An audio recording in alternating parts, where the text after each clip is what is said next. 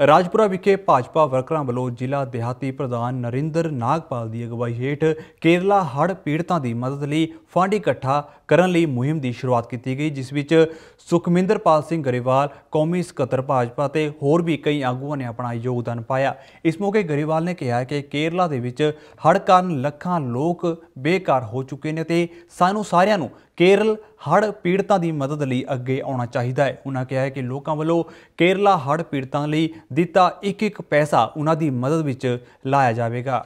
ਲੱਗੀ ਹੈਗੀ ਆ ਵੀ ਕੇਰਲਾ ਦੇ ਰਿਲੀਫ ਫੰਡ ਲਈ ਤੁਸੀਂ ਬਾਜ਼ਾਰ ਦੇ ਵਿੱਚ ਜਾਣਾ, ਸ਼ਹਿਰ ਵਾਸੀਆਂ ਕੋਲੋਂ ਜਾਣਾ, ਭਾਰਤੀ ਜਨਤਾ ਪਾਰਟੀ ਦੇ ਆਪਣੇ ਜ਼ਿਲ੍ਹਾ ਪ੍ਰਧਾਨ ਨੂੰ ਨਾਲ ਲੈ ਕੇ, ਉਹਦੀ ਟੀਮ ਨੂੰ ਲੈ ਕੇ, ਕੌਂਸਲਰ ਸਹਿਬਾਨ ਨੂੰ ਲੈ ਕੇ, ਭੈਣੀਆਂ ਭੈਣਾਂ ਨੂੰ ਲੈ ਕੇ, ਸਾਰਿਆਂ ਨੂੰ ਲੈ ਕੇ, ਸ਼ਹਿਰ ਵਾਸੀਆਂ ਨੂੰ ਨਾਲ ਲੈ ਕੇ, ਉਹਨਾਂ ਲੋਕਾਂ ਦੇ ਲਈ ਅਸੀਂ ਰਾਹਤ ਲਈ ਕੋਸ਼ ਜਾਂ ਜਿਹੜੇ ਵੀ ਦਾਨ, ਵਿੱਤ ਸਮਾਨ ਜਿਹੜਾ ਕੁਝ ਕਰ ਸਕਦੇ ਹੈਗੇ ਆ, ਉਹਦੇ ਲਈ ਬੇਨਤੀ ਕਰ ਦੇਖੋ ਟਾਰਗੇਟ ਕੋਈ ਨਹੀਂ ਹੁੰਦਾ। ਦਾਨ ਵਿੱਤ ਸਮਾਨ। ਕੋਈ ਰੁਪਈਆ ਦੇ ਸਕਦਾ ਕੋਈ ਲੱਖ ਦੇ ਤਾਂ ਵੀ ਜੇ ਕੋਈ ਪਾਰਟੀ ਨੇ ਆਪਦੇ ਲਈ ਕੋਈ ਪੈਸੇ ਇਕੱਠੇ ਕਰਨੇ ਆ।